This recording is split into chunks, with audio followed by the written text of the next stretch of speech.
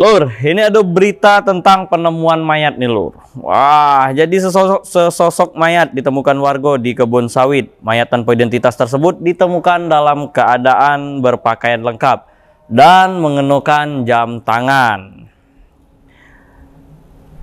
Mayat tersebut pertama kali ditemukan oleh Iwan di kebun sawit saat dirinya hendak memanen sawit, tepatnya di kilometer 47, Desa Sekernan, Pado, Rabu sore.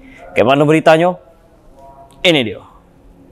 Rabu sore, warga dihebohkan dengan penemuan mayat laki-laki di perkebunan sawit. Mayat tanpa identitas tersebut pertama kali ditemukan oleh Iwan di kebun sawit saat dirinya hendak memanen sawit, tepatnya di kilometer 47, Desa Bukit Paling, Kecamatan Sekernan, Rabu sore. Menurut keterangan Iwan, dirinya pertama kali menemukan mayat tersebut saat sedang memanen kelapa sawit namun dirinya mencium bau yang sangat menyengat. Dan setelah ditelusuri, ternyata bau tersebut berasal dari sesosok mayat yang tergeletak di dalam kebun kelapa sawit.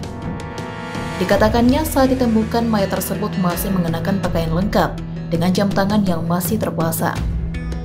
Sementara itu, Kapolsek Sekernan Ibtu Wiji Nur Eko Wahyu saat dikonfirmasi melalui telepon membenarkan adanya penemuan mayat tersebut dan saat ini mayat tersebut telah dibawa ke rumah sakit untuk ditindaklanjuti lebih lanjut.